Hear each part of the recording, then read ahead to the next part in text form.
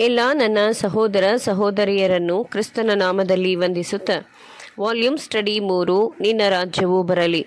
ಅಧ್ಯಾಯ ಹತ್ತು. ದೇವರ ಕಲ್ಲು ಸಾಕ್ಷಿಗಳ ಪ್ರಮಾಣ ಮತ್ತು ಪ್ರವಾದಿ. ಐಗುಪ್ತದಲ್ಲಿರುವ ಮಹಾ ಪಿರಮಿಡ್. ಪುಟ ನೂರ ತೊಂಬತ್ತೊಂಬತ್ತು. ನಮ್ಮನ್ನು ಸಂತುಷ್ಟಗೊಳಿಸುವ ಯಾವುದೇ ದೃಷ್ಟಿಕೋನದಿಂದ ನೋಡಿದರೂ ಈ ಮಹಾ ಪಿರಮಿಡ್ ನಿಜವಾಗಿಯೂ ಇಡೀ ಪ್ರಪಂಚದಲ್ಲಿಯೇ ಅತ್ಯಂತ ಅಸಾಮಾನ್ಯವಾದ ಕಟ್ಟಡವಾಗಿದೆ. ಆದರೆ ಕಳೆದ ಮೂವತ್ತೆರಡು ವರ್ಷಗಳಿಂದ ಪ್ರಗತಿಯಲ್ಲಿರುವ ಒಂದು ಶೋಧನೆಯ ಬೆಳಕಿನಲ್ಲಿ ಇದು ದೇವರ ವಾಕ್ಯದ ಬಗ್ಗೆ ಸುಧಾರಿತ ಅಧ್ಯಯನವನ್ನು ಮಾಡುವ ಪ್ರತಿಯೊಬ್ಬ ಕ್ರೈಸ್ತನಿಗೂ ಕುತೂಹಲವನ್ನು ದೊರಕಿಸಿದೆ. ಅದು ಅಸಾಧಾರಣ ರೀತಿಯಲ್ಲಿ ಎಲ್ಲ ಪ್ರವಾದಿಗಳ ಸಾಮರಸ್ಯದಲ್ಲಿ ದೇವರ ಯೋಜನೆಯ ಗತಕಾಲದ ಪ್ರಸ್ತುತ ಮತ್ತು ಭವಿಷ್ಯದ ಒಂದು ಬಾಹ್ಯರೇಖೆಯನ್ನು ಕಲಿಸಿಕೊಡುವಂತೆ ತೋರುತ್ತದೆ. ಇಲ್ಲಿ ನೆನಪಿನಲ್ಲಿಟ್ಟುಕೊಳ್ಳಬೇಕಾದುದೇನೆಂದರೆ ಮಹಾ ಪಿರಮಿಡ್ನ ಪಕ್ಕದಲ್ಲಿ ಕೆಲವು ಕಲ್ಲಿನ ಮತ್ತು ಕೆಲವು ಇಟ್ಟಿಗೆಯ ಪಿರಮಿಡ್ಗಳಿವೆ.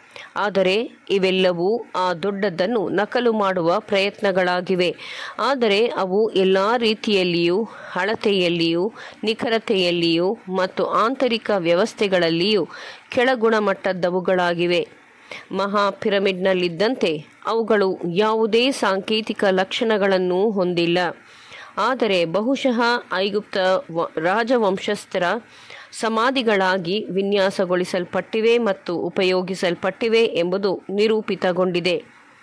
ಮಹಾಪಿರಮಿಡ್ ಹೇಗಿದ್ದರೂ ಮುಖ್ಯವಾದ ವೈಜ್ಞಾನಿಕ, ಐತಿಹಾಸಿಕ ಮತ್ತು ಪ್ರವಾದನೀಯ ಸತ್ಯದ ಉಗ್ರಾಣವಾಗಿದೆ ಮತ್ತು ಅದರ ಸಾಕ್ಷ್ಯವು ಪರಿಪೂರ್ಣವಾಗಿ ಸತ್ಯವೇದಕ್ಕನುಸಾರವಾಗಿ ಕಂಡುಬರುತ್ತದೆ.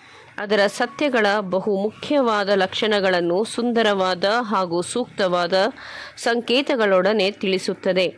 ಅದು ಯಾವುದೇ ಅರ್ಥದಲ್ಲಿ ಲಿಖಿತ ಪ್ರಕಟಣೆಗಳ ಗ್ರಂಥಕ್ಕೆ ಸೇರ್ಪಡೆ ಅಲ್ಲ.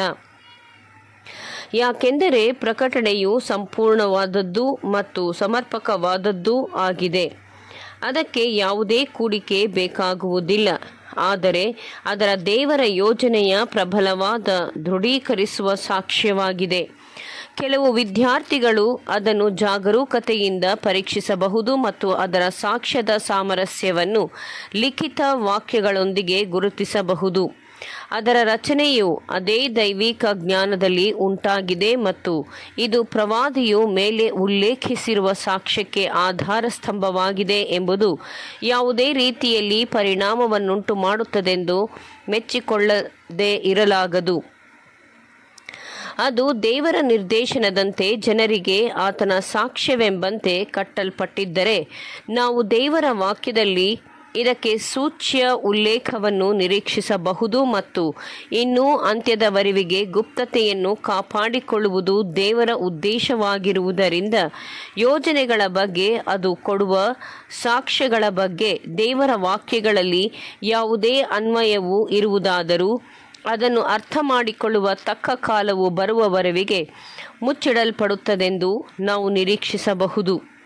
ಏಷಾಯನು ಮೇಲೆ ಉಲ್ಲೇಖಿಸಿರುವಂತೆ ಐಗುಪ್ತ ದೇಶದಲ್ಲಿ ಒಂದು ಬಲಿಪೀಠ ಮತ್ತು ಸ್ತಂಭದ ಬಗ್ಗೆ, ಅವು ಐಗುಪ್ತದಲ್ಲಿ ಸೇನಾಧೀಶ್ವರನಾದ ಯಹೋವನ ಗುರುತಾಗಿಯೂ ಸಾಕ್ಷಿಯಾಗಿಯೂ ಇರುವವು ಎಂದು ಸಾಕ್ಷಿ ಹೇಳುವವನಾಗಿದ್ದಾನೆ.